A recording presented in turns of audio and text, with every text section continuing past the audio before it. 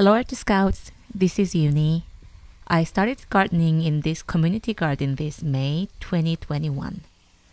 I am really a gardening beginner, but I'm enjoying gardening a lot.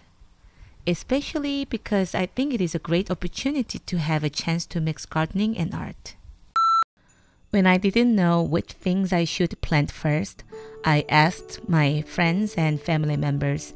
They recommended some tomatoes, peas, lettuce, and strawberries. I planted all of them, but I got worried about strawberries. because I heard that birds love to eat gardeners' strawberries. Then I got to know a great idea to keep them away from your strawberries with a trick. I heard that if the birds try to eat some fake strawberries before approaching the real strawberries, they get to think the strawberries are really hard and yucky, so they never come back to the garden. Also, it can be a fun art project. Let's get started!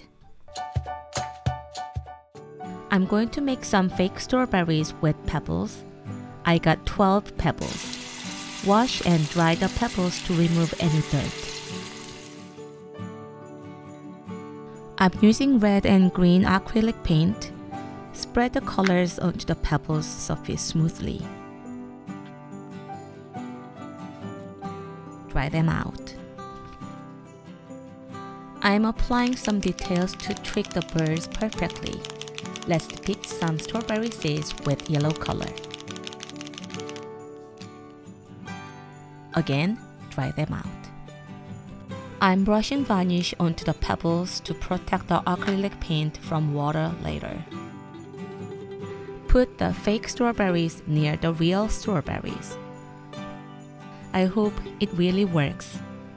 Anyway, I think it works for decorating the garden at least. If you like this video, please like and subscribe to Art Scout. I will see you next time. 拜拜。